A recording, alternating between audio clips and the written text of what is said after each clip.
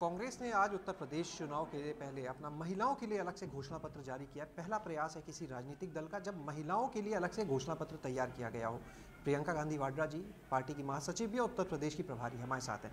Ma'am, क्या वजह ऐसी लगती है जिसकी वजह से महिलाओं के लिए अलग घोषणा पत्र लाना पड़ा? वजह यह है कि महिलाओं को सीरियसली नहीं लिया जा रहा है राजनीति में और महिला 50 प्रतिशत पॉपुलेशन की है। 50 प्रतिशत आबादी महिला है। उसकी भागीदारी पूरी होनी चाहिए, उसकी समस्याओं को सुलझाने की कोशिश होनी चाहिए। और आज ये सिलसिला चल रहा है कि राजनीतिक दल सोचते हैं कि हम एक गैस सिलेंडर पकड़ा लेंगे और हमारा महिला के प्रति ज़िम्मेदारी हमारी पूरी हो चुकी है। ये बहुत गलत है। और इसको बदलना है। और महिलाओं को सशक्त करने के लिए काम करना है। हर राजनीतिक दल को करना चाहिए।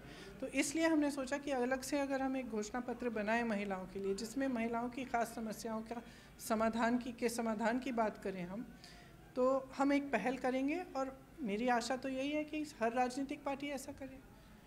सबसे ज़्यादा शोषण और अत्याचार आज महिलाओं के साथ हो रहा है। सबसे ज़्यादा खास तौर से उत्तर प्रदेश में। आप तो पत्रकार हैं आप जानते ही हैं कि क्या स्थिति है। तो उनको अपने पैरों पे खड़ा करने के लिए हमें हम सब की ज़िम्मेदारी बनती है कि हम उनको अपने पैरों पैरों पे खड़ा करें। हम सिर्फ़ उनको एक क्या कहते हैं चैरिटी जैसे हम ना दें कि चलिए ये सिलेंडर ले लिया ये कुछ और दे दिया ऐसे नहीं चलेगा। और आज की जो नौजवान महिला है वो लड़ना चाहती है अपने हक के लिए वो अपना हक मांग रही है हर जगह।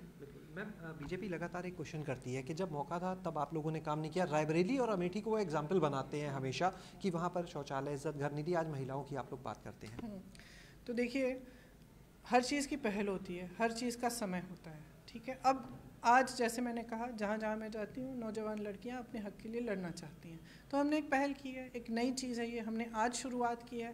तो मेरी आशा तो यही है कि मेरी पार्टी हर जगह करे।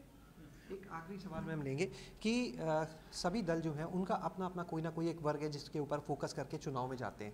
चाहे भाजपा हो चाहे सपा हो क्या माने? कांग्रेस जो है वो अगर महिलाओं के ऊपर फोकस कर रही है तो ये वजह है कि आधी आबादी एक बड़ा वोट बैंक के हम एक टारगेट करें फोकस करें। वजह ये है कि मैं उत्तर प्रदेश की जिम्मेदार हूँ यहाँ प्रभारी हूँ और मैं चाहती हूँ मेरे दिल से ये चाहत है कि महिला आगे बढ़े और सशक्त बने।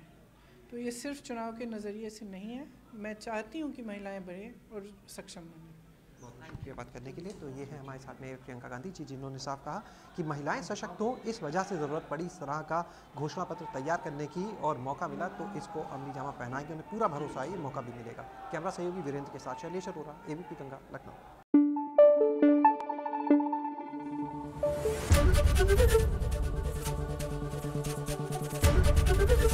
एबीपी गंगा खबर आपकी जुबा आपकी।